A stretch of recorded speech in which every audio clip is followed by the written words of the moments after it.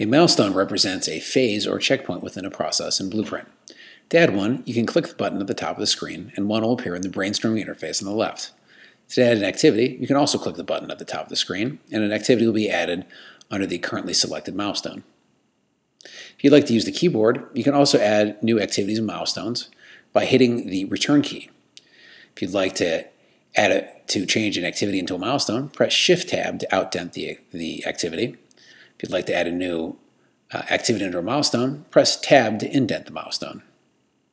Switching over to the process diagram, you'll see that Blueprint automatically creates a BPMN diagram based on the work we did in the process map. You can also add new milestones here on the process diagram by clicking the plus button between two milestones or at the end of the process, like so.